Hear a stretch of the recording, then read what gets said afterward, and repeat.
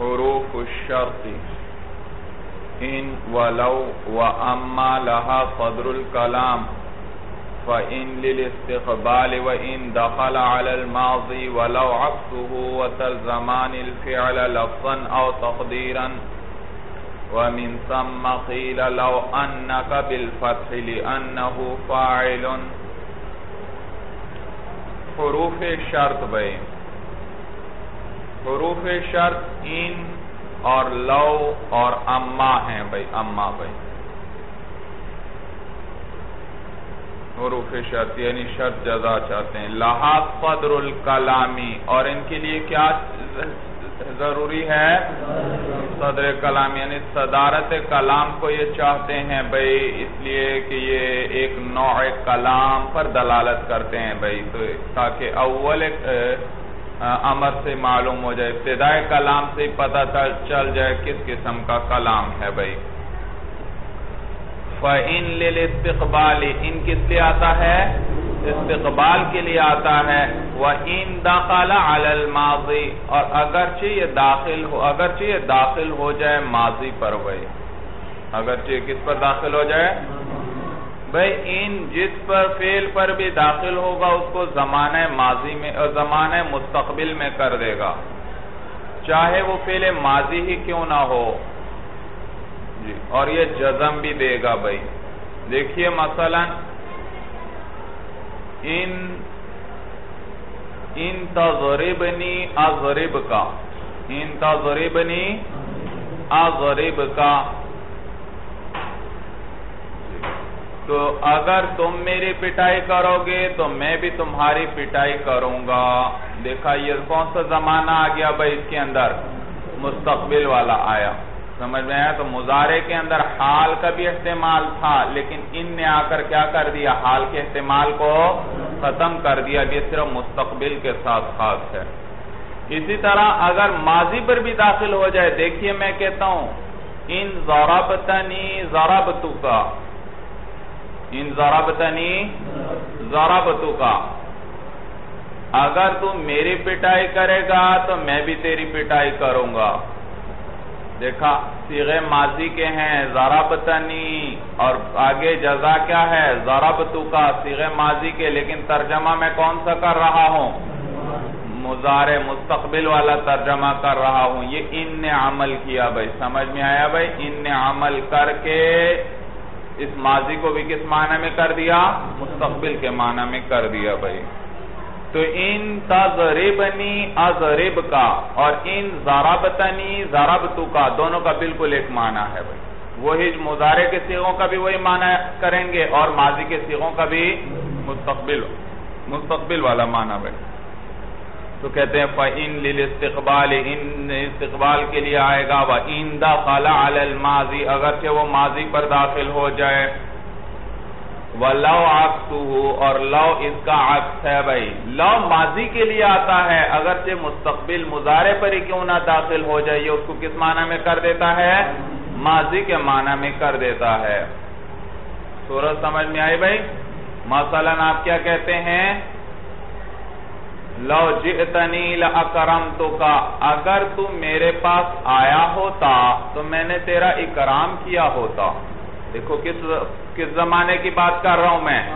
ماضی۔ یہ فائدہ کون دے رہا ہے؟ لو۔ یہ تو سیغے بھی ماضی کے تھے۔ اگر سیغے بھی آپ مستقبل کے لے آئیں، پھر بھی معنی کون سا کریں گے؟ ماضی والا ہی کریں گے۔ ماضی والا۔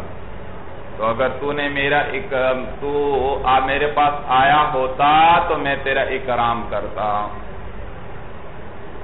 یاد رکھو یہ جو لو ہے، لو۔ لو کے حرف شرط ہے اس کے بعد دو جملے آتے ہیں بھائی۔ دو جملے۔ ایک شرط ہے، ایک جزا بھائی۔ اور ابھی آپ نے پڑھا بھائی، یہ دونوں کو کس معنی میں کر دے گا؟ ماضی کے معنی میں۔ تو یاد رکھو یہ جو دو جملے ہیں، ان میں پہلا جملہ علت اور سبب ہوا کرتا ہے اور ثانی جملہ معلول اور مسبب ہوتا ہے۔ اول جملہ کیا ہوتا ہے بھائی؟ علت اور ثانی کیا ہوتا ہے؟ معلول ہوتا ہے۔ اول علت اور ثانی معلول ہوا کرتا ہے۔ لو جئتنی لأکرمتو کا اگر تو میرے پاس آیا ہوتا تو میں تیرا اکرام کرتا۔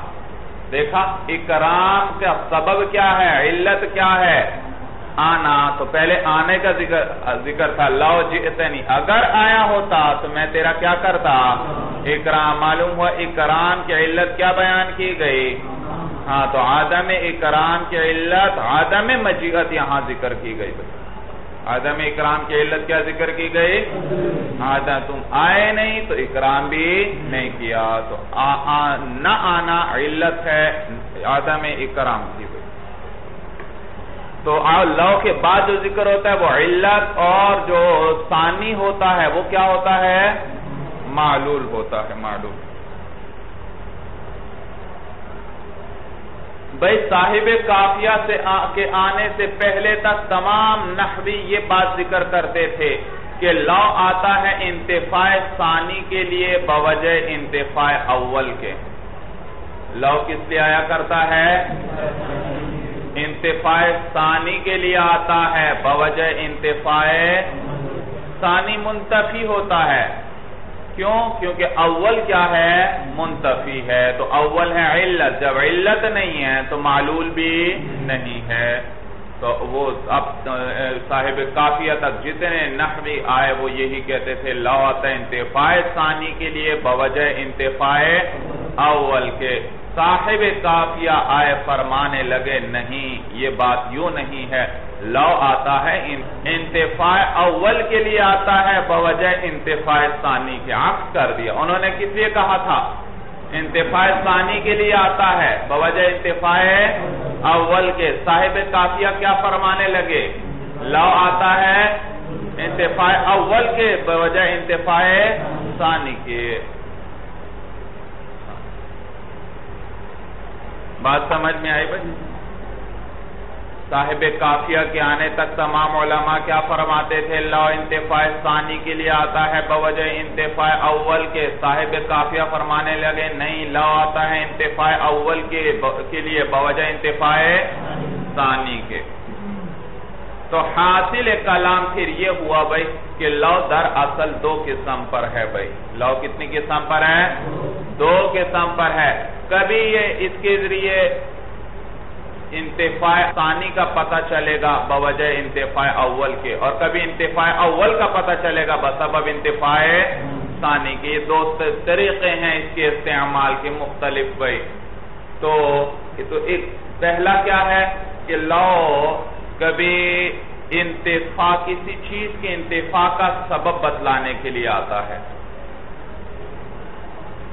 بیت قدمہ نے کیا کہا کیا ذکر کیا تھا؟ لو کس لیے آیا کرتا ہے؟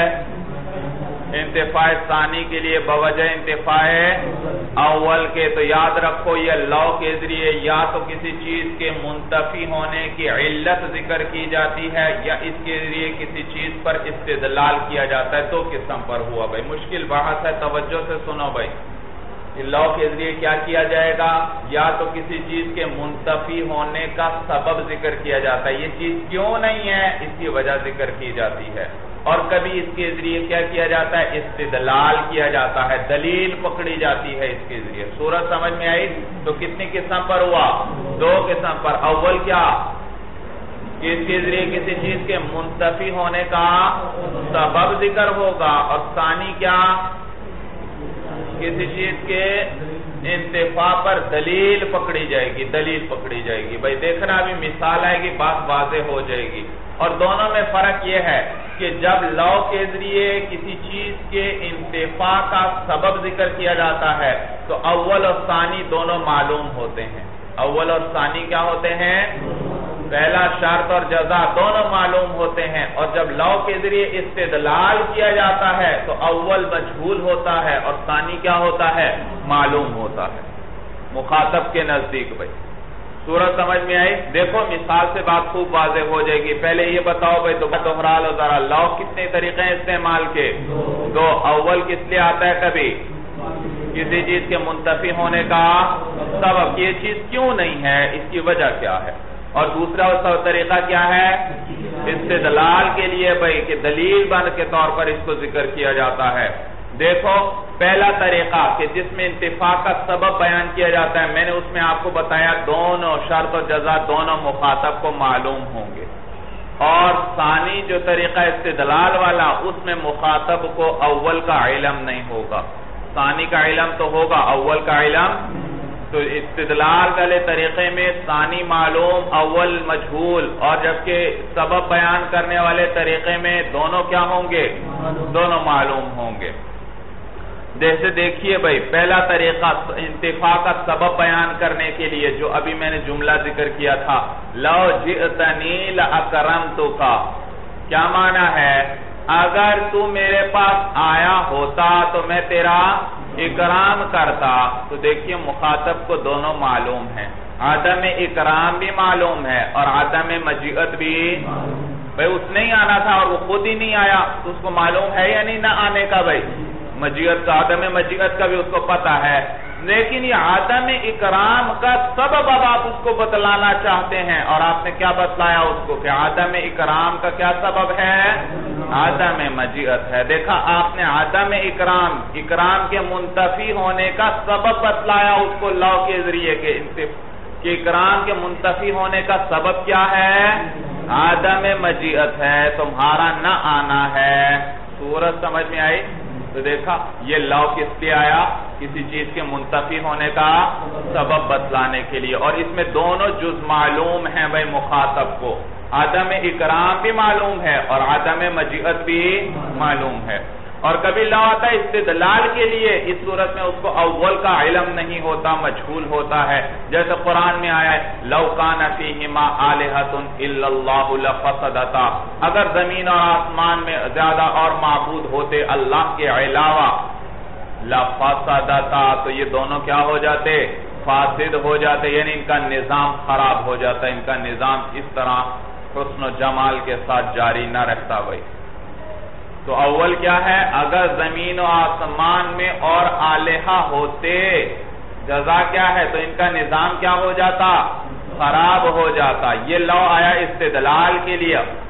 تو مخاطب جو ہے مشرقین کو اس بات کا علم نہیں تھا کہ آلہہ زیادہ نہیں ہے بھائی۔ اللہ صرف معبود حقیقی صرف ایک ہے بھائی۔ تعدد آلہہ منتفی ہے۔ اس کا انہیں علم نہیں تھا۔ اس پر استدلال کیا گیا، کس کے ذریعے؟ آدم فساد کے ذریعے۔ دیکھو، اللہ فرما رہے ہیں، دیکھو، اس کائنات کے اندر فساد نہیں، یہ دلیل ہے اس بات کی کہ اس کے اندر معبود اللہ کے علاوہ اور کوئی نہیں ہے۔ تو اول کیا تھا؟ مخاطب کو معلوم تھا بھائی؟ تعدد آلیہ کا منتفی ہونا، مخاطبین کو معلوم نہیں تھا۔ اس پر استدلال کیا گیا، کس کے ذریعے؟ آدم فساد کے ذریعے اور آدم فساد تو ان کو معلوم تھا، انہیں بھی معلوم تھا کائنات کا نظام کیا ہے؟ درست چل رہا ہے۔ تو ثانی معلوم تھا، اول معلوم نہیں۔ اور ثانی کے ذریعے استدلال کیا گیا کس چیز پر؟ اول پر۔ صورت سمجھ میں آئی کہ فساد نہیں، معلوم ہوا، تعدد آلیہ بھی نہیں، زیادہ معبود بھی نہیں۔ بات سمجھ میں آگئے تو لو کتنے طریقے ہیں استعمال کے؟ تو یا تو کسی چیز کے انتفاع کا سبب بتلانے کے لیے آئے گا اور اس صورت میں دونوں مخاطب مخاطب کو معلوم ہوں گے۔ اور کبھی اس کے ذریعے کیا کیا جائے گا؟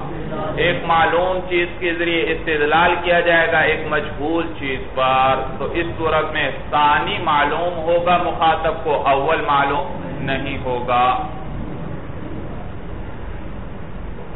بات اچھی طرح سمجھ میں آ گئی بھائی۔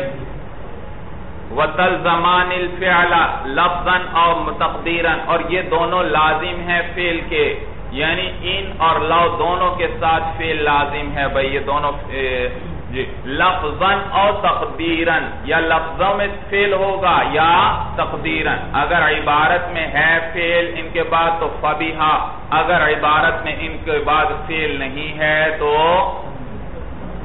تو پھر کیا کرنا پڑے گا؟ محضوف نکالنا پڑے گا محضوف نکالنا۔ اس لیے کیونکہ یہ ان اور لو شرط کے لیے ہیں اور شرط میں ہوتی ہے تعلیق۔ اور تعلیق ہوتی ہے زمانے میں اور زمانہ ہوتا ہے فیل کے اندر۔ تو اس لیے ان کے بعد ہمیشہ کیا آئے گا؟ فیل اگر لفظوں میں ذکر ہے تو ٹھیک، ورنہ کیا کریں گے؟ محضوف نکالیں گے۔ یہ معنی ہے وَتَلْزَمَانِ الْفِعْلَ اور یہ ان اور لو لازم ہے فعل کے ساتھ لفظاً اور تقدیراً بیعتبار لفظوں کے یا تقدیراً۔ وَمِن سَمَّ اور اسی وجہ سے قیلہ کہا گیا ہے، لو انہ کا لو کے بعد اگر کیا آ جائے انہ انہ والی صورت والا سیغہ آ جائے تو اس کو کیا پڑھنا ہے؟ انہ پڑھنا ہے۔ کیا پڑھنا ہے؟ کیوں؟ کیونکہ لو کے تو حرف شرط ہے اور ابھی ضابطہ بتلایا کہ لو کے بعد کیا آنا چاہیے؟ فیل آنا چاہیے۔ تو یہاں فیل محضوف ہے لو ساباتا لو ساباتا اور یہ انہ آگے پورا جملہ اس کے لیے کیا بن جائے گا؟ فائل بن جائے گا۔ کیا بنے گا؟ اور فائل مفرد ہوا کرتا ہے یا جملہ ہوا کرتا ہے؟ مفرد تو انہ پڑھنا چاہیے یا انہ پڑھنا چاہیے؟ انہ پڑھنا چاہیے کہ انہ اس جملے کو کس کے حکم میں کر دے گا؟ مفرد کے حکم میں کر دے گا بھائی۔ سورج سمجھ میں آگئے بھائی؟ وَمِن سَمَّ قِيلَ۔ اور اسی وجہ سے کہا گیا لَوْ أَنَّكَ بِالْفَتْحِ، فتح کے ساتھ، حمزہ کے فتح کے ساتھ بھائی۔ لِأَنَّهُ فَائِلٌ اس لیے کہ یہ کیا ہے بھائی؟ فائل بھی ہے۔ یعنی انہ اپنے معمولوں سمیت یہ فائل بن جائے گا فیل محضوب کے لیے۔ وَانْتَلَقْتُ۔ اور انطلقت کہا گیا ہے۔ بالفعلی فعل کے ساتھ موضع منطلقین۔ منطلقین کی جگہ۔ لیکون کل عوضی تاکہ یہ کس کی طرح ہو جائے؟ عوض کی طرح ہو جائے۔ دیکھو بھائی، آپ یہ کہنا چاہتے ہیں، کلام آپ کے سامنے لو انکا منطلقن. لو انکا تو دیکھو، لو کیا ہے؟ حرف شرط اور حرف شرط کے لیے کیا چاہیے؟ کس پر داخل ہوتا ہے؟ فیل پر داخل ہوتا ہے. اور آگے انا کا منتلقن یہ اس کے لیے کیا بنے گا؟ پورا جملہ، انا حرف صروف مشبہ بل فیل کاف ضمیر اس کا اسم. منتلقن اس کی خبر. انا اپنے اسم اور خبر سے مل کر بتاویل مفرد یہ سباتہ کے لیے کیا بن گیا؟ فائل بھائی۔ صورت سمجھ میں آئی بھائی؟ فائل بنے گا۔ لیکن صاحب کافیہ فرما رہے ہیں، جب لو کے بعد انا لے آئیں فیل نہ لائیں فیل کو محضوب کر دیں، تو اس صورت میں منطلق نہ لاؤ، انا کی خبر اسم نہ لے کر آؤ، بلکہ انا کی خبر فیل لے کر آؤ۔ منطلقن کی جگہ انطلقتو کہو بھائی۔ لو انا کا انطلقتا لو انا کا انطلقتا بھائی۔ سورت سمجھ میں آئی بھائی؟ لو انکا انطلقتا جی۔ بات سمجھ میں آ رہی ہے بھائی؟ بھائی، خبر میں اصل تو یہ ہے، خبر مفرد ہونی چاہیے۔ اور مفرد انطلقتا ہے یا منطلقن ہے؟ منطلقن مفرد ہے اور انطلق تو فیل اپنے فائل سے مل کر کیا بن جایا کرتا ہے؟ جملہ، جبکہ منطلقن اپنے فائل سے مل کر کیا بنتا ہے؟ مفرد شب جملہ ہے شب جملہ، صورت تو مفرد ہے وہی، بس جملے کے مشابہ ہے۔ تو منطلق ہونا تو یہ چاہیے کہ خبر میں اصل ہے منطلقن یعنی مفرد ہونی چاہیے۔ لیکن جب آپ لو کے بعد فیل کو حذف کر کے انا لے آئیں تو پھر یہ پورا جملہ کیا بنے گا؟ فیل محضوب کے لیے فائل بنے گا۔ اور اس صورت میں فرماتے ہیں کہ انا کی خبر مفرد نہ لے کر آؤ، بلکہ کس کی صورت میں لے کر آؤ؟ فیل کی صورت میں لے کر آؤ۔ تو کیسے بنے گا پورا کلام؟ لو ساباتا انا کا انطلقتا لو ساباتا انا کا انطلقتا بھئی یہ کیوں لے کر آؤ؟ دیکھئے بھئی وہ ان تلق اور ان تلق کہیں گے قیلا لو انا کا وقیلا ان تلق ان تلق کہا جائے گا، بالفعل کس کے ساتھ؟ فیل کے ساتھ جی یعنی فیل کے لفظ کے ساتھ بولا جائے گا خبر کو۔ موضع منطلقین کس کی جگہ پر؟ منطلقن کی جگہ پر انطلقتا کہیں گے۔ لیکون کل عوضی تاکہ یہ فیل عوض جیسا ہو جائے۔ کس جیسا ہو جائے۔ بھائی دیکھو بھائی، ادھر۔ لو کے بعد آپ نے کس چیز کو حذف کیا؟ فیل اور وہ کون سا فیل تھا؟ ساباتا کون سا فیل تھا؟ ساباتا فیل اور ساباتا فیل جو ہے، یہ دلالت کرتا ہے ثبوت اور تحقق پر۔ کس چیز پر؟ بھئی آپ نے کہا ساباتا مطرن، بارش ہوئی تو تحقق ہوا یا نہیں بارش کا بھائی؟ تو یہ سبتا فیل ہے اور یہ دلالت کرتا ہے تحقق اور ثبوت پر، ایک چیز کے پائے جانے پر، یقینی ہونے پر۔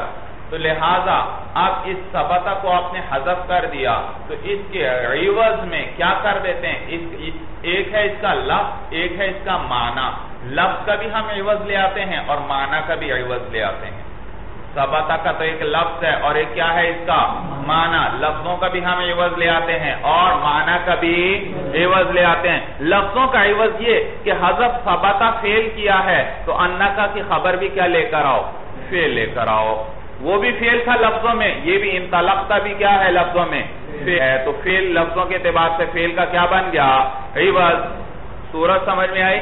اور معنی کے اعتبار سے، بھائی معنی کے اعتبار سے سباتا دلالت کر رہا تھا تحقق پر، بھائی ثبوت پر اور تحقق پر۔ تو معنی کے عوض میں ہم انا لے آئے، کیونکہ انا بھی کس لیے آتا ہے؟ تحقق اور یقین کے لیے آتا ہے۔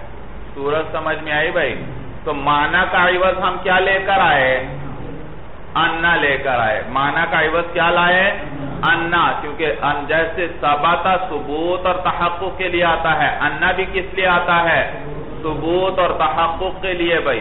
سمجھ میں آئی بات بھائی؟ اور لفظوں کا عوض ہم کیا لے کر آئے؟ فیل کو لے کر آئے۔ جیسے سباتا فیل تھا، تو عوض میں بھی ہم کیا لے آئے؟ انا کی خبر۔ انطلقتا لے کر آئے، منطلقون نہیں لائے۔ سورج سمجھ میں آ گئی بھائی؟ تو کہتے ہیں لیا تو اس کی جگہ فیل لائیں گے، منطلق ان کی جگہ لیکون کل عوضی تاکہ یہ عوض جیسا ہو جائے۔ صاحب کافیہ یہ نہیں فرما رہے کہ یہ اس کا عوض ہو جائے، حقیقتاً یہ اس کا عوض نہیں۔ سمجھ میں آیا بھائی؟ کہا ہاں، کل عوضی عوض جیسا ہو جائے، کہنا کیا چاہیے تھا؟ لیکون عوضن تاکہ یہ کیا بن جائے اس کا؟ عوض عوض نہیں کہا عوض جیسا ہو جائے۔ یعنی حقیقت میں یہ عوض نہیں ہے، ویسے عوض جیسا ہے۔ حقیقتاً تو عوض یہ ہے کہ جو آپ اس کا عوض لے کر آئے ہیں اس کو لفظن بھی عوض ہونا چاہیے اور مانن بھی کیا ہونا چاہیے؟ عوض ہونا۔ حالانکہ یہاں آپ لفظن عوض اور لائے ہیں اور مانن عوض لفظن عوض انطلقتا لائے ہیں اور مانا کا عوض کیا لائے ہیں؟ انا تو دو الگ چیزیں لے کر آئے ہیں۔ حالانکہ ہونا کیا چاہیے تھا؟ ایک ہی چیز کو لفظن بھی عوض ہونا چاہیے تھا اور مانن بھی عوض ہونا چاہیے۔ صورت سمجھ میں آئی تو یہ عوض ہے نہیں حقیقت میں؟ ہاں عوض جیسا ہے، اسی لیے کہا کل عوض عوض جیسا یہاں تک بات سمجھ میں آ فَإِن كَانَ جَامِدًا، اور اگر اس کی خبر اس میں جامد تھی۔ انہوں نے کیا کہا بھائی؟ جب آپ کیا لے کر آئیں؟ لو کے بعد انا لے کر آئیں فیل کو حذف کر دیں تو آگے انا کی خبر کو فیل لے کر آئیں بھائی۔ مفرد نہ لے کر آئیں۔ کہتے ہیں اگر خبر یہ اس وقت ہے کہ خبر مشتق ہو، مشتق ہوگی تو اس سے کیا بنانا؟ آسان ہے فیل بن جائے گا۔ لیکن اگر خبر اس میں جامد آ رہی ہے، تو اس میں جامد تو وہ ہے جو نہ خود کسی سے بنا ہے، نہ آگے اس سے کوئی بنتا ہے۔ تو لہذا اس میں جامد اگر آئے پھر تو اس سے فیل بنانا ممکن ہی نہیں۔ تو پھر اس صورت میں اس میں جامد اسم ہی کو ہم لے آئیں گے خبر، کیونکہ وہاں پر فیل کا لانا ممکن ہی نہیں۔ صورت سمجھ میں آگے بھائی؟ فَإِن كَانَ جَامِدًا، اگر وہ اسم، اگر وہ جو خبر تھی انا کی، وہ کیا تھی اس میں؟ جامد تھی۔ جازا، تو پھر جائز ہے اس اس میں جامد کا خبر بننا، خبر کی جگہ واقع ہونا۔ لِتَعَذُّرِهِ، بوجہ فیل وقوع فیل کے متعذر ہونے کے۔ کہ وقوع فیل کیا ہو گیا؟ متعذر، ممکن ہی نہ رہا۔ اس میں جامد سے ہم فیل بنا ہی نہیں سکتے۔ جب بنا ہی نہیں سکتے تو اب کہاں سے فیل لائیں؟ صورت سمجھ میں آئی بھائی وَإِذَا تَقَدَّمَ الْقَسَمُ أَوَّلَ الْكَلَامِ عَلَى الشَّرْطِ لَزِمَهُ الْمَاضِي لَفْظًا أَوْ مَعْنًا۔ یہاں ایک اور نیا مسئلہ بتلا رہے ہیں بھائی، صاحب کافیہ بھائی۔ دیکھو، ان جو ہے، ان۔ یا لو وغیرہ شرط کے لیے آتے ہیں۔ اگر یہ ان سے پہلے قسم آ جائے ابتدائی کلام میں کیا آ جائے بھائی؟ قسم، واللہ، اس کے بعد آیا، لو ان تضربنی اضرب کا اگر یہ صورت آ جائے۔ پہلے کلام تھا، ان تضربنی اضرب کا اس کے شروع میں کیا آ گئی بیا قسم، اس کے شروع میں آ گئی۔ تو پھر فرماتے ہیں صاحب کافیہ کہ یہ جو قسم ہے، اس کے ساتھ ماضی لازم ہے لفظن یا مانن لفظن یا مانن کیا آنا لازم ہے؟ ماضی کا۔ وقان اور وہ جو جی۔ دیکھیے، وَإِذَا تَقَدَّمَ الْقَسَمُ أَوَّلَ الْكَلَامِ۔ اور جب مقدم ہو جائے قسم اول کلام میں، علی الشرطی کس پر مقدم ہو جائے؟ شرط پر۔ لَزِمَهُ الْمَاضِي تو لَزِمَ الْقَسَمَ۔ لازم ہو جائے گا قسم کے ساتھ۔ حاضمیر کس کو راجے ہے؟ قسم۔ قسم کے ساتھ لازم ہو جائے گی ماضی۔ لفظن اور مانن یا وہ مانی، وہ ماضی لفظن ہونی چاہیے یا کیا ہونی چاہیے؟ مانن دیکھو زارابا یہ کیا ہے ماضی؟ لفظن ماضی ہے۔ اور لم یا ضرب یہ کیا ہے؟ معنی کے اعتبار سے کیا ہے؟ ماضی، کیونکہ یضرب تو تھا مزارے لیکن لم اس پر داخل ہوا، اس نے اس کو کس معنی میں کر دیا؟ ماضی۔ تو یہ ماضی لفظوں کے اعتبار سے تو نہیں، لم یضرب، لیکن معنی کے اعتبار سے کیا ہے؟ ماضی۔ تو اب جب قسم مقدم ہو جائے کس پر بھائی؟ قسم کس پر مقدم ہو جائے؟ شرط پر مقدم ہو جائے، ابتدائی کلام میں آ جائے۔ تو پھر اس قسم کے ساتھ کیا لازم ہے؟ ماضی لازم ہے یعنی شرط کو کس فیل کی صورت میں لائیں گے؟ ماضی کی صورت میں لائیں گے۔ چاہے وہ ماضی لفظن ہو، چاہے وہ ماضی مانن ہو یعنی زارابہ ہو یا لم یضرب ہو۔ صورت سمجھ میں آ گئی؟ وکان الجواب للقسم لفظن اور جواب کس لیے ہوگا؟ قسم کے لیے ہوگا لفظن با اعتبار لفظوں کے۔ دیکھو بھائی، ادھر سنو بھائی۔ اصل میں کلام کیا تھا؟ ان تذربنی ازرب کا ان تذربنی ازرب کا حرف ان تذربنی یہ ہے شرط۔ ازرب کا یہ کیا ہے؟ جزا۔ اور ان کیا کیا کرتا ہے؟ جزم دیتا ہے۔ آپ نے پڑھا ہے بھائی، اب آپ دیکھ رہے ہیں۔ ان تذرب یہ جو مجزوم ہے، ان تذربنی ازرب کا یہ ازرب کی بابی کیا ہے؟ یہ ازرب بھی کیا ہے؟ مجزوم ہے۔ صورت سمجھ میں آ گئی بھائی۔ آپ اس پر جب قسم آ گئی شروع کلام میں، واللہ۔ تو یاد رکھو، پہلے یہ بات سمجھ لو۔ یہ جو جملہ شرطیہ ہوتا ہے، اس کو جملہ انشائیہ کہیں گے یا جملہ خبریہ کہیں گے؟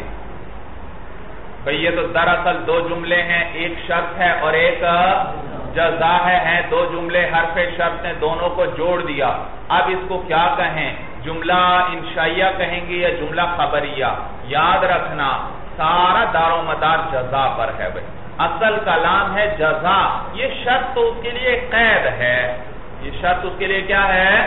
قید کے طور پر ذکر کی گئی ہے۔ تو آپ یہ جو جملہ شرطیہ ہوتا ہے، اس کے اندر اگر جزا، جملہ خبریہ ہوئی، جزا کیا ہوئی؟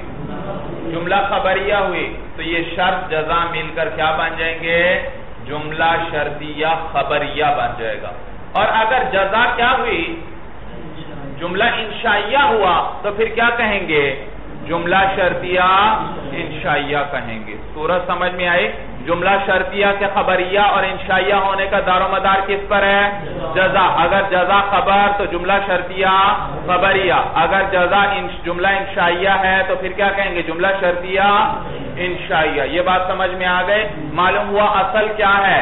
جزا ہے۔ اور یہ جو شرط ہے یہ اس کے لیے قید کے طور پر پڑھائی جاتی ہے۔ سورج سمجھ میں آ گئی تو اصل کلام جزا ہوا۔ اب یہ جو جزا ہے اب شروع کلام میں قسم آ گئی. اب سوال پیدا ہوا کہ یہ جو آگے قسم آ رہی ہے، شروع میں آ رہی ہے قسم. قسم چاہتی ہے جواب جواب قسم چاہیے یعنی قسم کے لیے؟ کس چیز پر قسم اٹھائی ہے؟ کس بات کی قسم اٹھ ہے؟ تو قسم، جواب قسم چاہتی ہے اور ان حرف شرط جو آیا وہ چاہتا ہے یہ میرے لیے جزا بنے. کیا بنے؟ جزا۔ تو ان اگلے جملے کو اپنے لیے جزا بنانا چاہتا ہے اور قسم اس کو اپنے لیے کیا بنانا چاہتی ہے؟ جواب قسم بنانا چاہتی ہے۔ سورج سمجھ میں آ رہی ہے قسم کے لیے کیا چاہیے؟ جواب۔ اور شرط کے لیے کیا چاہیے؟ تو دونوں ثانی جملے میں جھگڑا آ گیا دونوں کا۔ قسم چاہتی ہے میرے لیے جواب قسم بنے اور جزا چاہتی ہے حرف شرط چاہتا ہے میرے لیے کیا بنے؟ جزا بنے۔ تو کہتے ہیں جب قسم مقدم ہوگی تو اس جزا کو جواب قسم بنائیں گے۔ کیا بنائیں گے؟ جزا نہیں بنائیں گے بھائی، جواب قسم بنا دیں گے۔ اور جواب قسم کے اندر جو شرائط تھیں، اب ان شرائط کا یہاں بھی لحاظ رکھنا پڑے گا۔ جواب قسم اگر جملہ مثبت ہو تو لام تاکید کا لانا ضروری تھا۔ آپ نے پڑھا یا نہیں بھائی؟ واللہ چاہے جملہ فیلیا ہو، چاہے جملہ اسمیہ ہو، لام تاکید کا لانا ضروری، اور جملہ اسمیہ ہو تو کبھی انہ بھی لے آتے ہیں۔ واللہ انہ زیدن لقائمن۔ بھائی، پڑھا تھا یعنی آپ بھول گئے، یاد ہے بھائی؟ جواب قسم، اگر جملہ مثبت ہو تو اس پر کیا لانا ضروری؟ لام تاکید کا لانا ضروری ہے۔ تو لہذا، جب یہاں پر وہ جو جزا آ رہی ہے، اس کو کیا بنا دیا ہم نے؟ قسم مقدم ہونے کی وجہ سے کیا بنا دیا؟ جواب قسم بنا دیا۔ اور جواب قسم کے اندر جن چیزوں کے ہونے ضروری تھا، وہی چیزیں اب اس جزا کے اندر ہونا بھی ضروری ہوں گی۔ اور چونکہ یہ اب جزا نہیں ہے، لہذا اب جزا والی شرائط اس کے اندر پوری کرنا ضروری۔ بھائی، جزا تو ہوتی ہے مجزوم، اور جواب قسم ہوتا ہے غیر مجزوم۔ تو یہ غیر مجزوم ہوگا، مجزوم نہیں ہوگا۔ سورج سمجھ میں آ گئے بھائی؟ تو جب جزا کو ہم نے کیا بنا دیا؟ جواب قسم بنا دیا۔ جب جواب قسم بنایا تو حرف شرط اس کو جزم دے رہا ہے؟ حرف شرط جزم نہیں دے رہا۔ تو معلوم ہوا حرف شرط جب جزا میں عمل نہیں کر رہا، تو شرط بھی ایسی لے کر آؤ جس میں حرف شرط کا اثر ظاہر نہ ہو۔ شرط بھی کیسے سیغہ لے کر آؤ؟ جس میں حرف شرط کا اثر ظاہر نہ ہو۔ اور اگر یہ مزارے لے کر آتے ہیں تو حرف شرط اس کو فوراً کیا دیا کرتا ہے؟ جزم لہذا مزارے نہیں لائیں گے، بلکہ شرط کو بھی کیا لائیں گے؟ ماضی لائیں گے۔ کیا لائیں گے؟ اور ماضی تو مبنی ہوتی ہے، اس میں عمل کرے گا۔ اچھا جی۔ بات سمجھ میں آئی کہ نہیں؟ صاحب کافیہ نے کہا تھا کہ شرط پر اگر قسم مقدم ہو جائے، تو اس صورت میں قسم کے ساتھ کیا لانا ضروری ہے؟ قسم کے بعد، قسم کے بعد پہلے کتاب میں دیکھو۔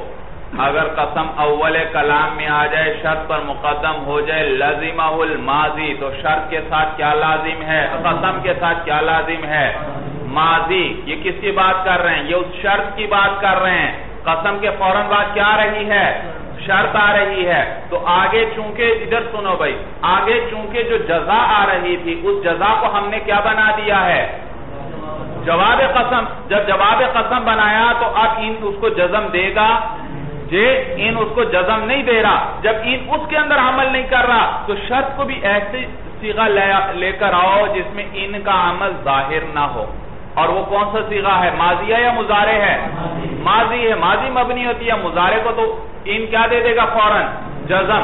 تو لہذا جب ان نے جزا میں عمل نہیں کیا، تو ماضی شرط بھی ایسی لے کہ اس کے اندر بھی وہ عمل نہ کرے۔ لہذا اب ماضی کا سیغہ لائیں گے۔ یا تو وہ ماضی لفظن ہو یا مانن۔ ان زارابنی یا ان یزربنی دیکھا؟ ان لم یزربنی لم تو ان زارابا لے آؤ یا ان لم یضرب لے آؤ تو ان نے زارابا میں کوئی عمل کرے گا؟ ظاہر ہوگا لفظوں میں عمل نہیں۔ اور ان لم یضربنی یہاں عمل کوئی ظاہر ہوگا ان کا؟ نہیں۔ یہ لم یضرب کو تو لم جزم دے رہا ہے، ان جزم نہیں دے رہا۔ سورج سمجھ میں آئی کہ نہیں آئی؟ اچھی طرح۔ تو کہتے ہیں، وَإِذَا تَقَدَّمَ الْقَسَمُ اَوَّلَ الْكَلَامِ، اور جب مقدم ہو جائے قسم اول کلام میں عَلَى الشَّرْطِ، شرط پر لازمہ الماضی، تو لازم ہے اس قسم کے ساتھ ماضی کا ہونا۔ ماضی لازم ہے لفظاً او معنن بیعتبار لفظوں کے یا بیعتبار معنی کے۔ یعنی وہ جو شرط ہوگی، وہ لفظاً یا معنن کیا ہونی چاہیے؟ ماضی ہونی چاہیے۔ فَيُطَابِقُ، تاکہ شرط جو ہے مطابق ہو جائے۔ کس کے مطابق ہو جائے؟ جواب کے، یا جواب کے مطابق ہو جائے بھائی۔ جیسے وہ جواب قسم کے اندر بھائی حرف شرط عمل نہیں کر رہا تھا، اسے ہم نے جزا نہیں بنایا، بلکہ کیا بنایا؟ جواب قسم۔ تو اس کے اندر جب حرف شرط عمل نہیں کر رہا، تو شرط بھی اس جواب کے مطابق ہو جائے گی۔ یعنی اس کے اندر بھی جب وہ لفظاً یا مانن ماضی ہوگی، تو حرف شرط اس کے اندر کیا کرے گا؟ عمل نہیں کرے گا، اس کا عمل ظاہر نہیں ہوگا۔ وَقَانَ الْجَوَابُ لِلْقَسَمِ لَفْظًا۔ اور وہ جواب جو ہوگا قسم کے لیے ہوگا لفظوں کے اعتبار سے یعنی صرف جواب قسم بنائیں گے، اسے جزا نہیں بنائیں گے۔ اس لیے کہ جواب قسم غیر مجزوم ہوتا ہے اور جزا کیا ہوا کرتی ہے؟ مجزوم ہوتی ہے، تو اگر دونوں کے لیے بنا دیں گے، تو پھر اس کا ایک ہی وقت میں مجزوم ہونا بھی لازم آئے گا اور غیر مجزوم ہونا بھی۔ اور ایک ہی چیز ایک ہی وقت میں مجزوم بھی ہو اور غیر مجزوم بھی ہو، ایسا ایسا نہیں ہو سکتا بھائی۔ تو لہذا وہ لفظوں کے اعتبار صرف قسم کا جواب بنے گی۔ اور اس کے اندر لہذا ان چیزوں کی رعایت رکھنا پڑے گی جن کی رعایت جواب قسم میں رکھتے ہیں۔ یعنی اگر جملہ مثبت ہو تو کیا لانا پڑے گا؟ لام تاکید کا لانا ضروری ہوگا۔ جیسے واللہ لزید قائمون یا واللہ لأفعلن کذا تو دیکھا، جملہ فعلیہ ہو یا جملہ اسمیہ، جواب قسم میں کیا لانا ضروری ہے؟ لام تاکید کا لانا ضروری ہے۔ تو شرط کی جزا کدھر گئی بھائی؟ شرط کے لیے بھی جزا چاہیے یا نہیں چاہیے؟ اور ہم نے تو اس کو جواب قسم بنا دیا۔ کہتے ہیں، بھائی یہ ہے، لفظوں کے اعتبار سے جواب قسم ہے۔ ہاں یہ شرط کے لیے دال بل جزا ہے۔ شرط کے لیے کیا ہے؟ جزا پر دلالت کر رہا ہے۔ جزا نہیں ہے، لیکن جزا پر کیا کر رہا ہے؟ تو یہ دال بل جزا یا دال بل جزا یا دال علی جزا کہل۔ سورج سمجھ میں آئی؟ یہ دلالت کر رہا ہے جزا پر دالن علی الجزا۔ مثل و مثال کے طور پر، واللہ ان اتیتنی۔ جی۔ بھئی اتیتا کون سا سیغا ہے؟ ماضی ہے۔ کون سا ہے؟ ماضی۔ تو دیکھو، صاحب کافیہ نے کہا تھا، یا لفظن ماضی ہونی چاہیے۔ کیا ہونی چاہیے؟ لفظن ماضی ہونی چاہیے۔ اور یہاں پر اتیتا کیا ہے؟ لفظن ماضی ہے۔ سیغا ہے؟ ماضی کا ہے۔ اور یا کیا ہونی چاہیے ماضی؟ مانن ماضی ہونی چاہیے۔ آگے دیکھیے، او لم تأتینی لم تأتی کیا ہے بھائی؟ معنی کے اعتبار سے کیا ہے؟ ماضی ہے۔ لَأَكَرَمْتُ کا یہ دو مثالیں ہیں، دونوں کو الگ الگ کر لو بھائی۔ صاحب کافیہ نے مختصر کلام کیا۔ کیسے؟ لَأَكَرَمْتُ کا کو دونوں کے ساتھ الگ الگ جوڑو۔ وَاللَّهِ إِنْ أَتَيْتَنِي لَأَكَرَمْتُ کا وَاللَّهِ إِنْ أَتَيْتَنِي لَأَكَرَمْتُ اور دوسرا بھی بناؤ۔ واللہ لم تاتینی لاکرمتو کا سورج سمجھ میں آ گئی بھائی؟ اچھا تو دیکھیے بھائی، اب وہ قانون بل لگائیں جو صاحب کافیہ نے بتلایا تھا۔ شرط پر کیا مقدم ہو گئی ہے؟ قسم۔ اور جب قسم مقدم ہو جائے تو پھر آگے جو لاکرمتو کا جزا آ رہی ہے، اس کو کیا بنا دیا آپ نے؟ جواب قسم، اور جواب قسم جب مثبت ہو، اس پر کس چیز کا لانا ضروری؟ لام تو دیکھو، لا اکرم تو کا لام آیا یا نہیں آیا اس پر بھائی؟ اچھا اور جب ان نے جزا، لا اکرم تو کا جزا بھی بن رہی تھی، لیکن اب تو جزا نہیں، تو ہم نے اس کو جواب قسم بنا دیا۔ جب جواب قسم بنایا تو ان نے اس کے اندر عمل کیا۔ ان نے کوئی عمل جب جزا میں کوئی عمل نہیں کیا تو ما قبل میں جو شرط ہے آتیتنی یا لم تاتینی یہ بھی ہم ماضی لے کر آئیں گے ضرور بھی ضرور، چاہے لفظن ماضی ہو، چاہے یہ کیوں لائیں گے ماضی لفظن یا مانن؟ تاکہ ان نے جیسے جزا میں عمل نہیں کیا، شرط میں بھی اس کا عمل ظاہر نہ ہو۔ صورت سمجھ میں آگئے تو اس میں بھی کوئی جزم دے رہا وہ؟ جی اگر آتی تاتی کی جگہ تاتی ہوتا تو ان کیا دے دیتا اس کو؟ جزم دے دیتا، لیکن یہاں جب اس نے جزا میں عمل نہیں کیا تو ہم نے شرط لگا دی کہ شرط بھی ایسی لاؤ کہ اس کے اندر ان عمل نہ کرے۔ اچھی طرح بات سمجھ میں آگئی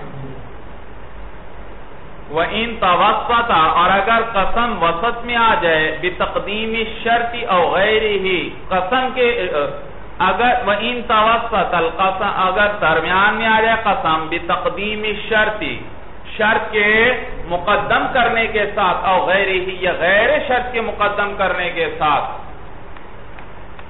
جازا، جائز ہے این اعتبارا و این یلغا۔ جائز ہے کہ قسم کا اعتبار کیا جائے، یہ بھی جائز۔ و این یلغا، اور جائز ہے کہ اس قسم کو کیا کر دیا جائے؟ لغو کر دیا جائے۔ دیکھو بھائی، ابھی تک تو بات یہ آئی تھی کہ قسم کہاں پر آئی تھی؟ شرط پر مقدم آئی تھی۔ لیکن اگر قسم شرط پر قسم، شرط پر بھی مقدم ہو اور ابتدائی کلام میں بھی ہو بھائی، یہ بھی آئی تھی بات۔ لیکن اگر قسم پر کوئی چیز مقدم ہو جائے، وسط میں آ جائے، چاہے صرف شرط اس پر مقدم ہو جائے، چاہے شرط تو مؤخر ہی ہے، مبتدا وغیرہ اس پر کیا ہو گئے ہیں؟ مقدم ہو گئے ہیں۔ تو قسم کہاں آ گئی؟ درمیان میں۔ جب درمیان میں آ گئی، تو اب یا تو آپ چاہیں تو اسی طرح کر لیں۔ قسم کو کیا کر لیں؟ اعتبار کر لیں اور آگے جزا کو کیا بنا دیں؟ جواب قسم بنا دیں اور پھر اس میں انہی امور کا لحاظ رکھیں جن کا لحاظ کن میں رکھا جاتا ہے۔ جواب قسم میں۔ اور آپ چاہیں تو اس کو قسم کو کیا کر دیں؟ لاؤ کر دیں۔ اس کا اعتبار ہی نہ کریں۔ اور آگے جزا کو کس کی آگے جو جزا رہی ہے، اس کو جواب قسم نہ بنائیں۔ تو اس کے اندر بھی پھر عامل کون بن جائے گا؟ ان اس میں بھی جزم دے دے گا۔ ان اس کے اندر بھی جزم۔ پھر اس میں ان چیزوں کی رعایت رکھیں گے جس کی رعایت جزا میں رکھی جاتی ہے۔ جب قسم کیا ہو گئی؟ وقت کلام میں آئی یعنی اس پر کیا مقدم ہوئی؟ شرط مقدم ہوئی یا مبتدا وغیرہ مقدم ہوئے؟ تو اس صورت میں چاہیں تو آگے آنے والے جزا کو کیا بنا دیں؟ جواب قسم بنائیں، چاہے اس کو جواب قسم نہ بنائیں، جزا ہی بنا لیں۔ اگر جواب قسم بناتے ہیں، تو جواب قسم والی چیزوں کی رعایت رکھیں۔ اگر جزا بناتے ہیں، تو جزا والی چیزوں کی کیا کریں؟ رعایت رکھیں۔ قول کا، جیسے کہ آپ کا یہ قول ہے، انا واللہ ان تأتینی آتی کا آنا دیکھا، شرط پر، قسم پر کیا مقدم ہوا؟ مبتدا مقدم ہوا تو اس صورت میں قسم کو کے لیے جواب قسم لانا بھی درست ہے، اس کو جواب قسم بنانا بھی صحیح اور اس کو لو کر کے اس کو جزا بنانا بھی تو یہاں پر دیکھیے کیا کیا ہے۔ ان تأتینی آتی کا ان تأتینی اتا یأتی کس کے ساتھ آتا ہے؟ اتا یأتی، تأتی بھئی یا کے ساتھ آتا ہے۔ لیکن دیکھو، ان تأتینی، ان نے کیا کر دیا؟ یا کو گرا دیا، جزم دیا یا نہیں دیا؟ آگے آتی کا یہ جزا ہے ان آتی کا۔ یہ بھی اصل میں کیا تھا؟ آتی کا۔ یا تا کے ساتھ ملی ہوئی آتی کا۔ یہاں ان نے یہاں بھی عمل کیا اور اس کو کیا کر دیا؟ جزم تو دیکھو، شرط میں بھی عمل کر رہا ہے ان جزا میں بھی عمل کر رہا ہے معلوم ہوا اس کو کیا بنایا گیا ہے؟ جزا۔ کیا بنایا گیا ہے؟ جزا بنایا گیا ہے۔ سورج سمجھ میں آ گئی تو اب جب ان عمل کر رہا ہے تو ان تاتینی، یہ ہے شارط آتی کا ہے جزا، اور ہم نے اس کو جواب آتی کا آتی کا کو جواب قسم ہم نے نہیں بنایا۔ کیونکہ اگر یہ جواب قسم ہوتا تو جواب قسم میں کیا لانا ضروری ہے؟ جی؟ لام تاکید لانا پڑتا۔ اور جب لام تاکید اس کے اندر لاتے تو پھر تاتینی اس کو بھی کیا لے کر آتے؟ ماضی لے کر آتے مزارے نہ لے کر آتے۔ سورج سمجھ میں آئی بھائی؟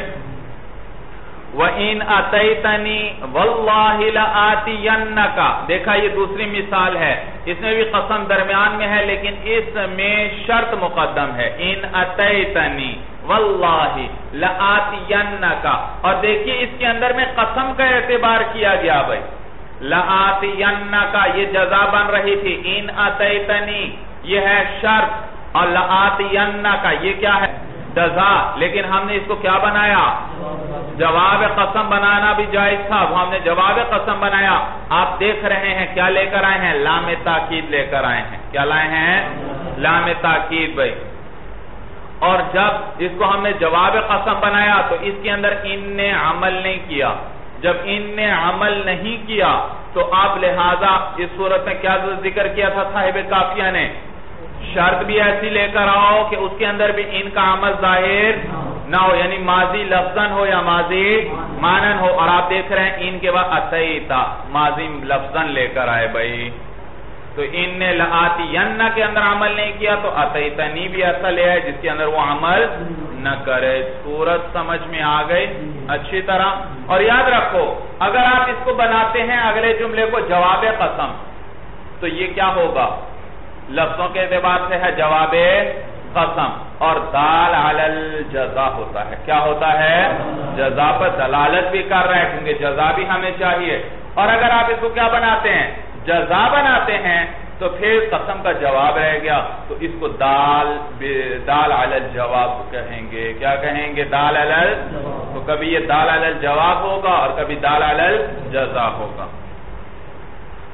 وہ تقدیر القسمی تقدیر القسمی کا لفظ اور تقدیر قسم بھی لفظ کی طرح ہے یعنی تلفظ کی طرح ہے۔ تقدیر قسم بھی کس کی طرح ہے؟ تلفظ۔ یعنی قسم پر تلفظ کریں یا نہ کریں بھائی؟ قسم پر یعنی تلفظ نہ کریں، پھر بھی یہ کس کی طرح ہے؟ تلفظ ہی کی طرح ہے۔ گویا آپ نے اس پر کیا کیا ہے؟ تلفظ کیا ہے بھائی؟ تلفظ کیا ہے؟ بھائی دیکھو، آپ نے پڑھا ہے یعنی کبھی کبھار کلام میں قسم کو ذکر کرتے ہیں، کبھی قسم کو حذف کر لیتے ہیں بھائی۔ کیا کر لیتے ہیں؟ حذف کر لیتے ہیں بھائی۔ اور قرائن وغیرہ موجود ہوتے ہیں جو دلالت کرتے ہیں کہ یہاں پر قسم محضوف ہے۔ یہاں پر قسم کیا ہے؟ محضوف ہے۔ تو قسم کو لفظوں میں لے کر آئیں، پھر بھی مسئلہ اسی طرح رہے گا۔ قسم کو اگر کیا کر دیں محضوب کر دیں۔ پھر بھی یہ کس کی طرح ہے؟ گویا اس پر آپ نے کیا کیا ہے؟ تلفظ۔ اور جب تلفظ کیا ہے تو انہی شرطوں کی رعایت رکھنا پڑے گی جو ہم نے ابھی ذکر کی بھائی۔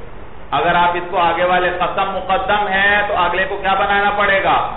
جواب قسم ہی بنانا پڑے گا۔ اور شرط کی صورت میں لانا پڑے گی۔ ماضی ہی کی صورت میں لانا پڑے گی۔ صورت سمجھ میں آ گئی بھائی؟ دیکھیے بھائی مثلو لَإِنْ اُخْرِجُوا لَا يَخْرُجُونَ لَإِنْ اُخْرِجُوا اور اگر وہ نکالے جائیں، لا یخرجون، تو وہ نکلیں گے نہیں۔ اگر ان کو نکالا جائے، تو وہ نکلیں گے نہیں۔ دیکھیے بھائی لَإِنْ ان آیا بھائی، ان۔ یہ لام آیا، یہ لام نے بتلا دیا، یہاں پر کیا محضوف ہے؟ قسم محضوف ہے۔ کیا محضوف ہے؟ قسم محضوف ہے۔ اچھا۔ قسم محضوف ہے بھائی۔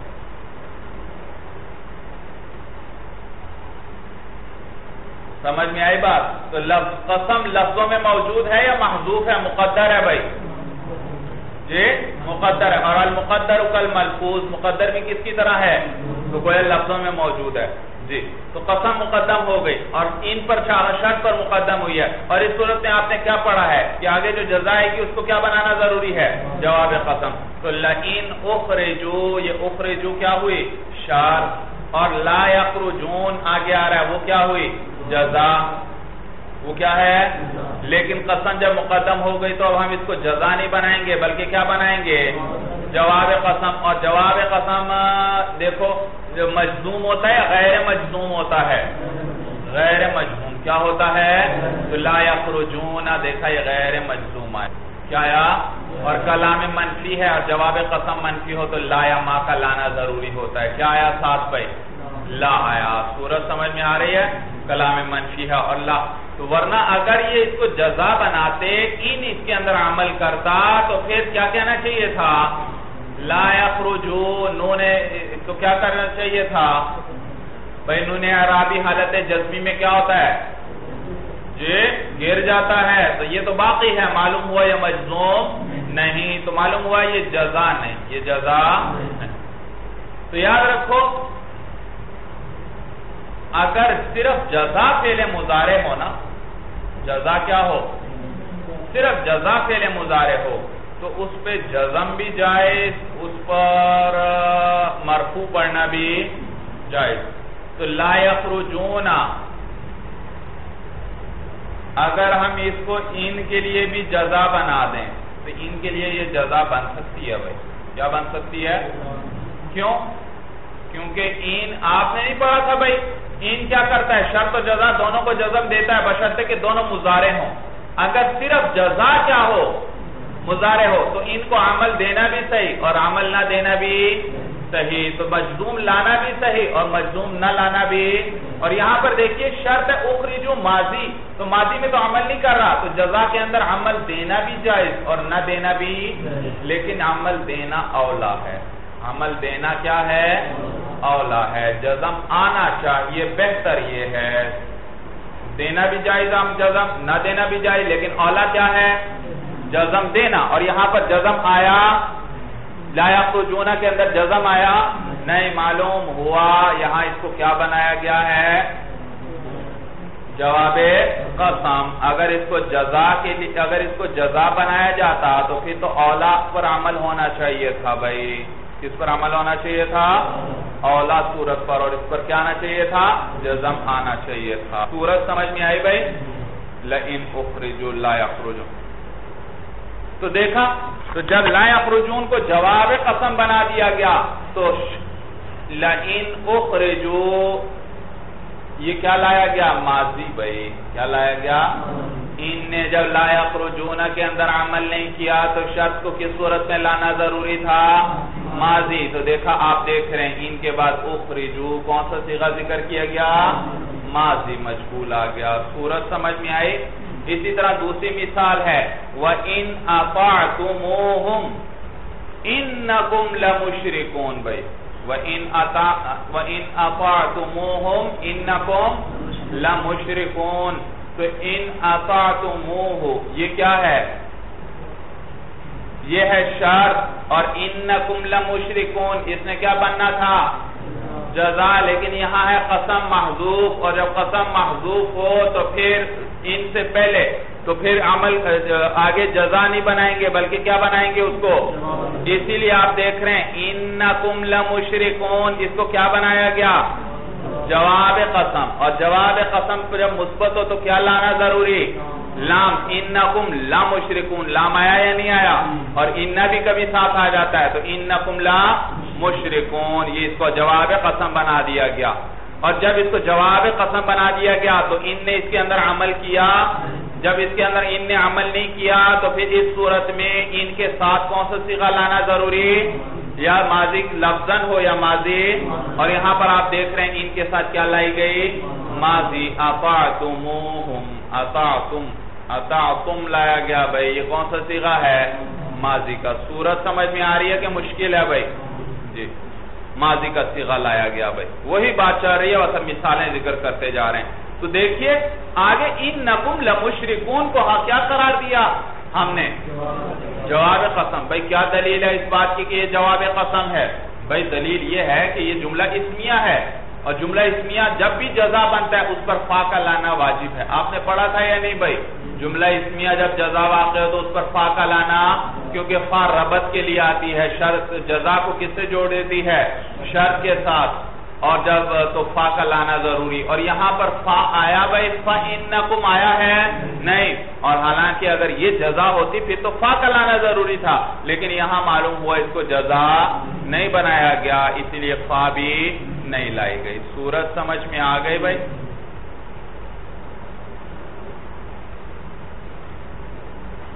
وَأَمَّا لِلتَّفْصِيل، اور اما کس لیے آیا کرتا ہے؟ تفصیل کے لیے آتا ہے بھائی۔ تفصیل کے لیے۔ یاد رکھو، اما سے پہلے کبھی اجمال ہوگا، اما اس کی تفصیل بیان کرے گا۔ یعنی ایک بات اجمالن ذکر ہوتی ہے، آگے تفصیل ہوتی ہے۔ مثلا میں آپ کو کہتا ہوں جانی اخوتو کا آپ کے بھائی میرے پاس آئے۔ بھائی کون کون ہے؟ آپ کے زید بھی ہے، عمر بھی ہے، بکر بھی ہے۔ بھائی میں نے تینوں کو کوئی تفصیلی نام لے کر ذکر کیا اجمالن اکٹھا ذکر کر دیا، جہانی اخوتو کا آپ کے بھائی آئے۔ آگے میں تفصیلا ہر ایک کی بات بیان کرتا ہوں۔ جانی اخوتک اما زیدن فاکرمتہو و اما عمرن فاہنتہو و اما بکرن، فاعرضت عنہو آپ کے بھائی میرے پاس ہے، بس زید جو ہے، اس کا میں نے اکرام کیا۔ عمر جو ہے، اس کی میں نے احانت کی۔ بکر جو ہے، میں نے اس سے اعراض کیا۔ اس سے تعرض کے در پہ ہی، اس سے بات ہی، اس کے پیچھے نہیں پڑا۔ بس بس ان دو۔ صورت سمجھ میں آ گئی بھائی۔ تو دیکھا اما ما قبل میں ایک چیز اجمالن آئی تھی۔ اما کے ذریعے آگے آگے اس کی تفصیل آ گئی۔ اور یاد رکھو، کبھی استیناف کے لیے بھی آتا ہے۔ صاحب کافیہ نے تفصیل ذکر کر دی ہے۔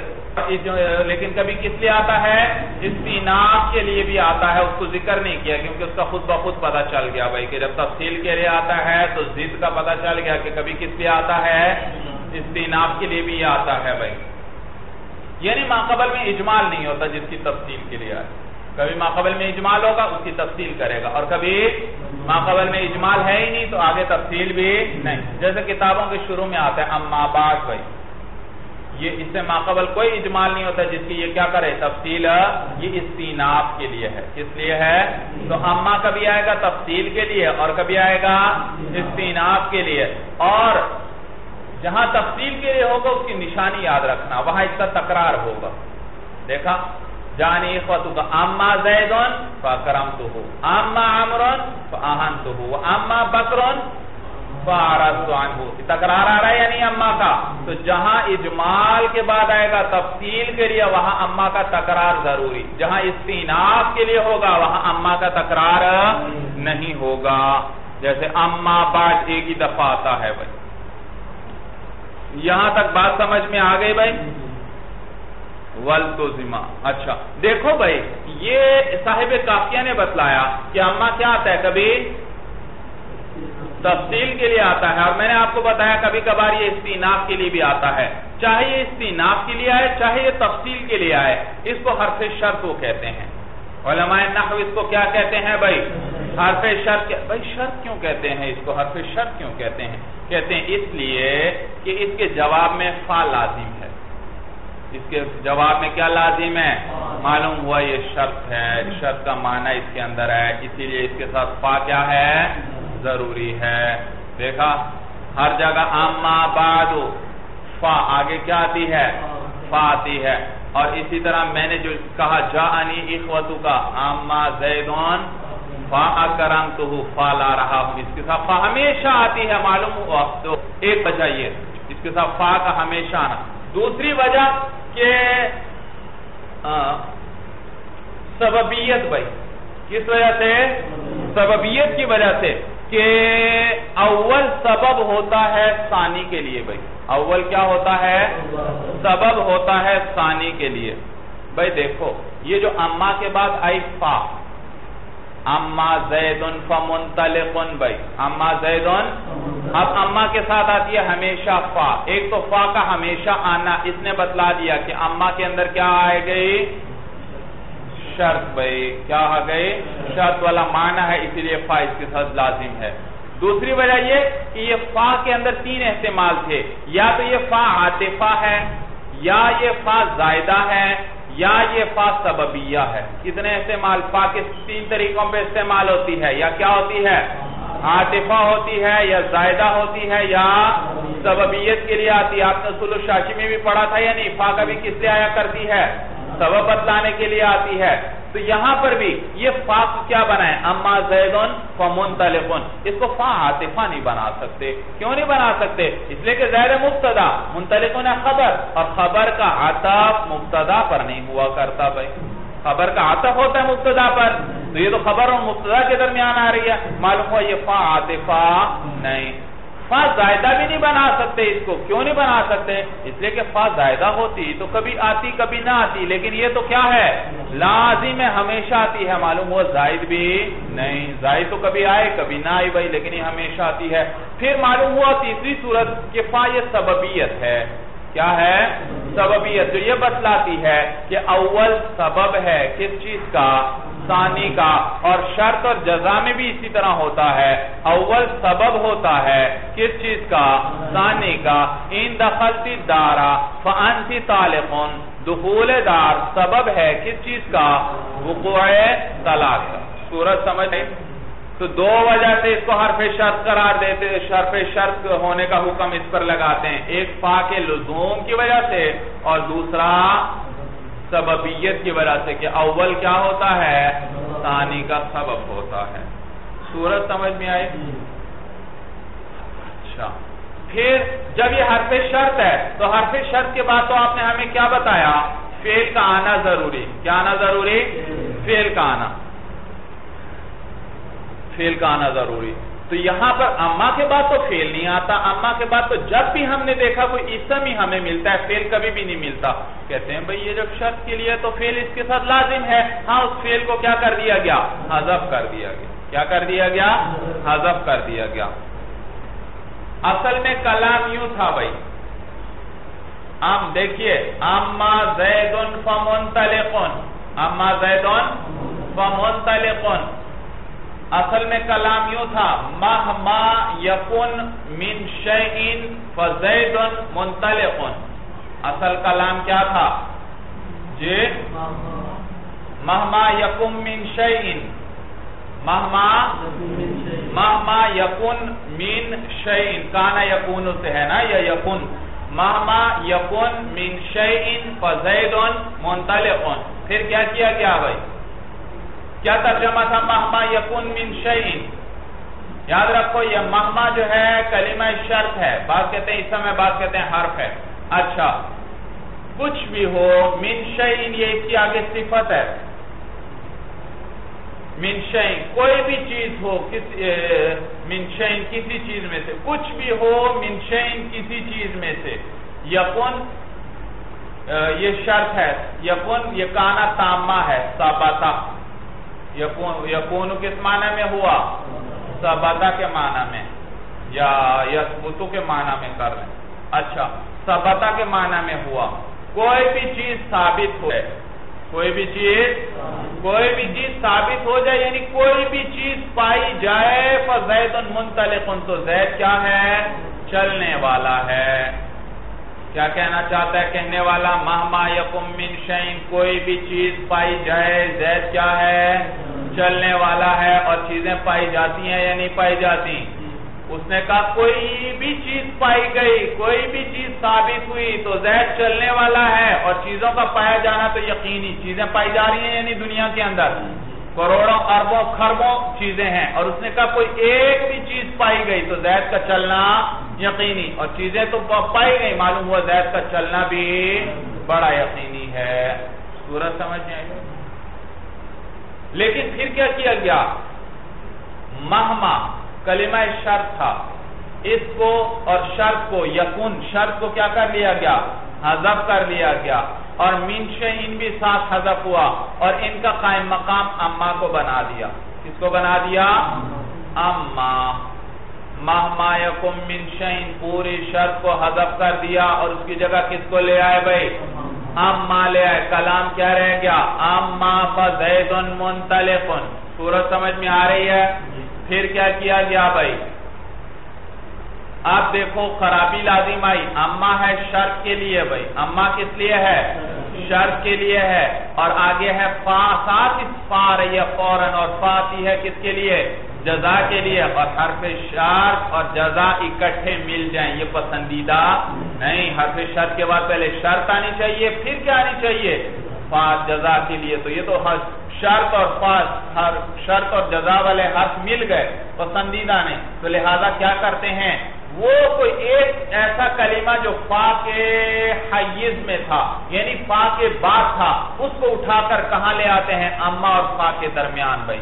تو کلام کیا تھا؟ اما فزیدن منطلقن. تو فا کے بعد ایک کلمہ کون سا تھا؟ زید مثلا. اس کو اٹھایا اور فا پر مقدم کر دیا. اب کیا بن گیا؟ اما زیدن فا منطلقن. تو زید جیسے پہلے مبتدا تھا، اب بھی کیا ہے؟ مبتدا. اور منطلقن جیسے پہلے اس کی خبر تھی، اب بھی کیا ہے؟ اس کی خبر ہے. تو اب جب زید لے آئے تو اما اور فا میں فصل آ گیا. درمیان میں کیا آ گیا؟ فصل آ گیا. سورت سمجھ میں آئی بھائی؟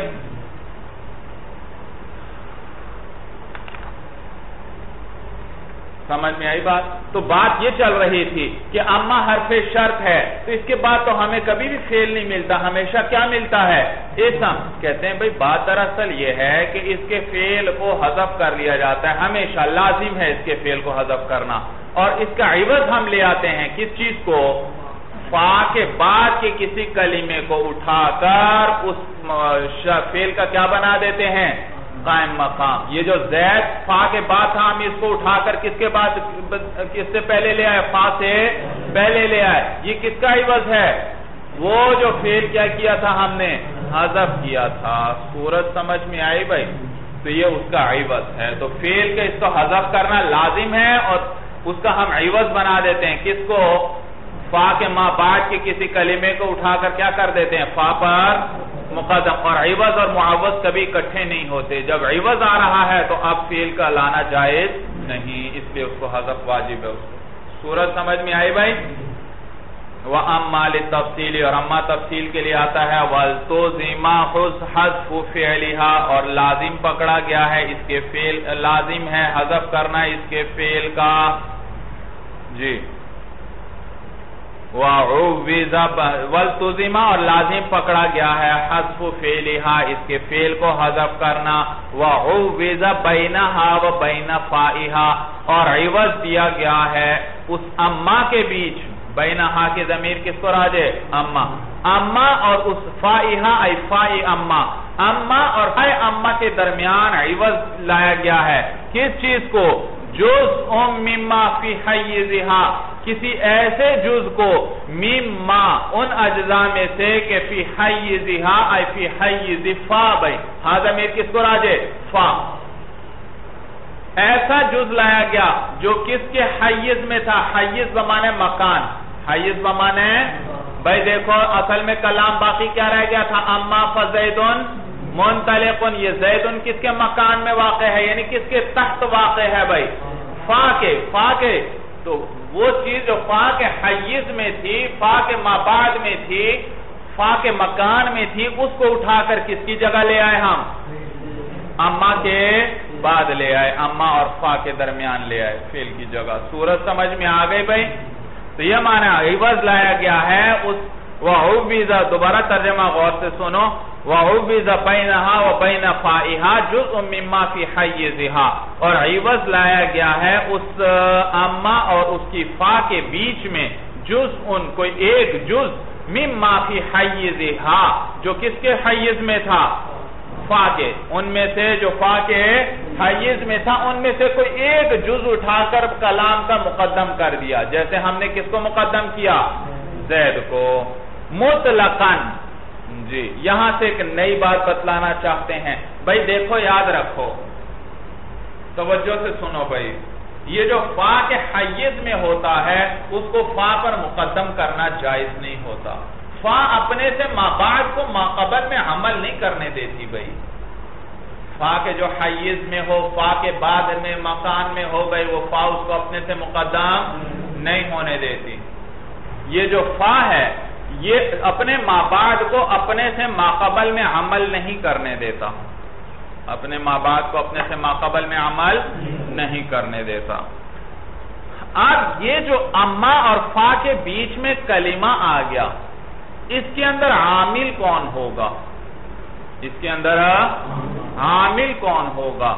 مثلا میں نے کہا، اما یوم الجمعاتی فزید منطلق آگے مثال آ رہی ہے یعنی متن میں دیکھ لی بھئی اما یوم الجمعاتی فزید منطلق اب یہ فا سے پہلے ہے یوم الجمعہ۔ یہ یوم الجمعہ ہے ظرف۔ اس ظرف کے لیے ہمیشہ کیا چاہیے؟ عامل چاہیے۔ جس کے لیے اس نے مفول فی بننا ہے۔ یہ کس کے لیے مفول فی ہے؟ اس کے اندر عامل کون ہے؟ اس کے اندر اب اختلاف ہے بھائی۔ اس میں کیا ہے؟ اختلاف ہے بھائی، اختلاف ہے۔ اختلاف ہے۔ اختلاف سے پہلے یہ سمجھ لو بھائی۔ کہ دیکھو، یہ فا اپنے ماں بعد کو ماقبل میں عمل نہیں کرنے دیتا۔ اپنے ماں بعد کو ماقبل میں عمل۔ کبھی صرف یہ فا آتی ہے، کبھی کوئی اور مانع بھی ساتھ آ جاتا ہے۔ مثلا اما یوم الجمعاتی فَإِنَّ زَيْدَنَ مُنْتَلِقُن فَإِنَّ زَيْدَن مُنْتَلِقُن دیکھو، فا کے ساتھ انہ بھی آ گیا۔ تو فا بھی ماں بعد کو ماقبل میں عمل نہیں کرنے دیتی۔ اور انہ بھی اپنے ماں باپ کو ماقبل میں عمل کیوں؟ اس لیے کہ انہ صدارت کلام کو چاہتا ہے بھائی، اگر ماں باپ کو ماقبل میں عمل کرنے دیں تو معلوم ہوا کوئی جز کلام کا اس پر مقدم ہو چکا ہے۔ اور اس طرح انہ کی صدارت کیا ہو جائے گی؟ فوت ہو جائے گی۔ صورت سمجھ میں آئے؟ تو انہ بھی ماں باپ کو ماقبل میں عمل نہیں کرنے دیتا مثلا، اور فا بھی اپنے ماں باپ کو ماقبل میں عمل نہیں کرنے دیتی۔ تو کبھی کبھار اما کے بعد صرف فا آتی ہے، جو ماں باپ کو ماقبل میں عمل نہیں کرنے دیتی۔ اور کبھی اس فا کے ساتھ کوئی اور معنی بھی ہوتا ہے، دو معنی آ جاتے ہیں۔ وہ وہ، اور وہ بھی اپنے ماں باپ کو ماقبل میں عمل نہیں کرنے دیتا۔ تو اب یہاں تین مذاہب ہیں بھائی۔ سوال یہ کہ یہ اما اور فا کے بیچ میں جو معمول آ گیا، اس کے اندر عامل کون ہے؟ امام سیبوے کا مذہب ہے۔ وہ فرماتے ہیں کہ اس کے اندر فا کا ما بعد عامل ہے۔ اس کے اندر فا کا ما بعد عامل ہے۔ تو یہاں پر وہ فرماتے ہیں، اما یوم الجمعاتی فزید منطلقن۔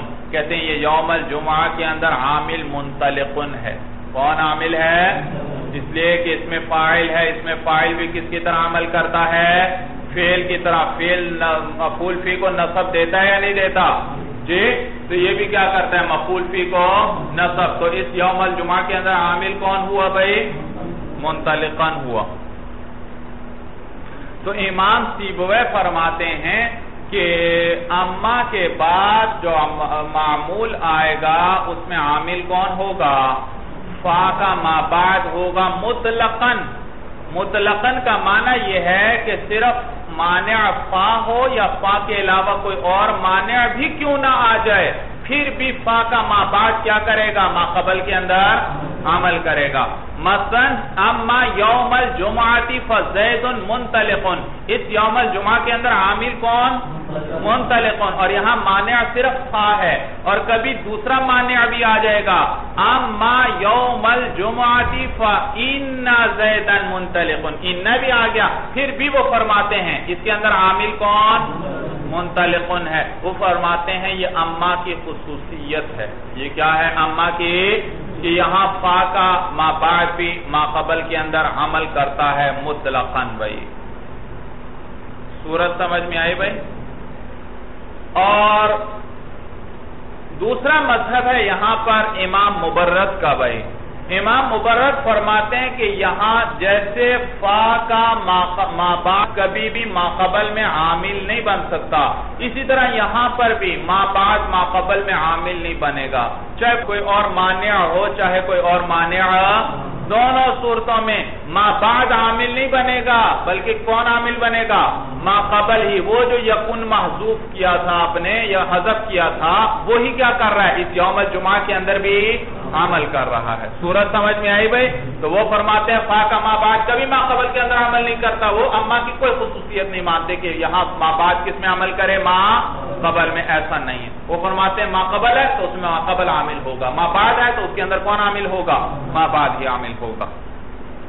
اور تیسرا مذہب امام مازنی کا ہے۔ امام مازنی فرماتے ہیں، اس مقام پر تفصیل ہے۔ دیکھو، کہتے ہیں، دیکھو مانع صرف فا ہے یا فا کے علاوہ کوئی اور مانع بھی موجود ہے۔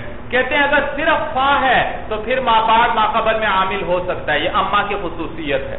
کہ اما کی جگہ پر آ کر فا اپنے کا ما بعد بھی کس میں عمل کر لیتا ہے؟ ما قبل۔ لیکن اگر فا کے علاوہ کوئی اور مانع ہوا، پھر ما بعد ما قبل کے اندر عامل نہیں ہوگا۔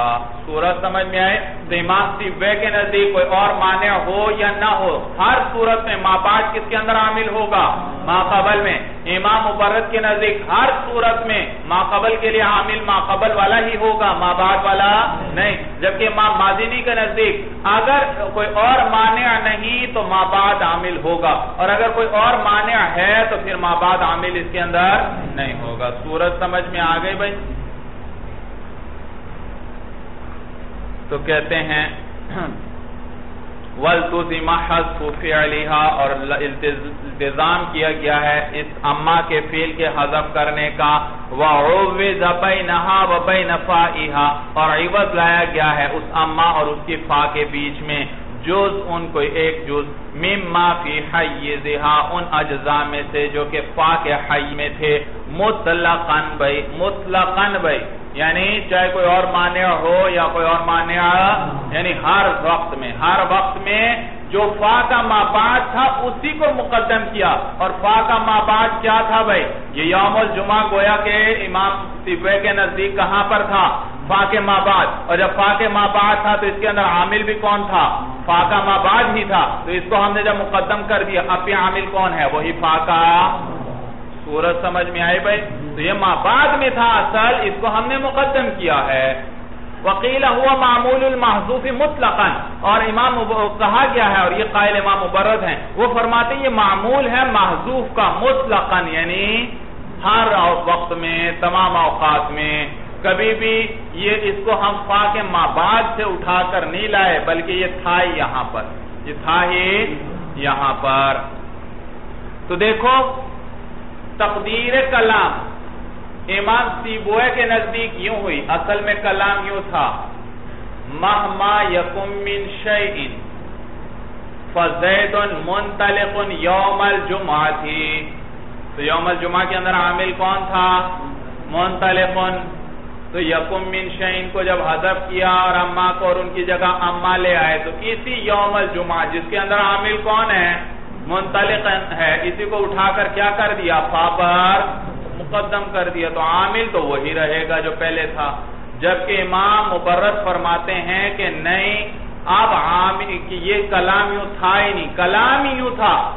مہما یقم من شعین یوم الجمعاتی مہما یقم من شعین یوم الجمعاتی فزید منطلقن یہ یوم الجمعہ پہلے بھی مقدم تھا اور اس کے اندر عامل کون تھا؟ یکن بھائی۔ کون عامل تھا؟ یکن عامل تھا۔ تو یہ موقر تھا ہی نہیں بھائی۔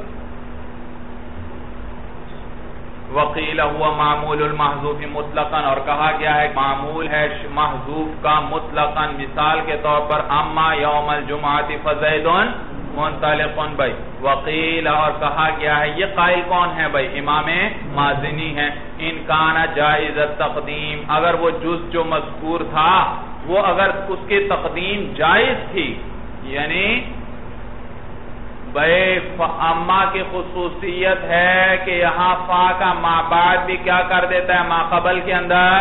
تو اگر صرف مانع فا ہے، تو پھر ما بعد کو فا پر مقدم کرنا۔ بھائی دیکھو اما کی کیا خصوصیت ہے؟ کہ فا کا ما بعد کس میں عمل کر سکتا ہے؟ ما قبل میں عمل کر سکتا ہے۔ جب ما قبل میں عمل کر سکتا ہے تو یوم الجمعہ کو فا پر کیا کر سکتے ہیں؟ ہم مقدم کر سکتے ہیں۔ لیکن اگر فا کے ساتھ انا وغیرہ بھی آ جاتا تو اب یوم الجمعہ کو انا پر مقدم کر سکتے ہیں؟ نہیں۔ تو یہی بات کر رہے ہیں۔ اگر مقدم کر سکتے ہیں یعنی عمل کرنا جائز ہے تو پھر تو کہتے ہیں وقیلہ، کہتے ہیں اگر وہ جز مذکور جو تھا، کیا تھا؟ جائزت تقدیم اس کو مقدم کرنا یعنی فا کے علاوہ اور کوئی مانع نہیں تھا۔ فمین الاولی تو وہ کس میں سے ہے؟ تو وہ قسم اول میں سے ہے۔ کس میں سے ہے؟ قسم اول میں سے یعنی جو فا کا یہ بعد اس کے اندر عامل ہے۔ فا کا وَإِلَّا فَمِنَ الثَّانِ ورنہ یہ اگر ایسا نہ ہو، تو پھر یہ کس کی قسم میں سے ہے؟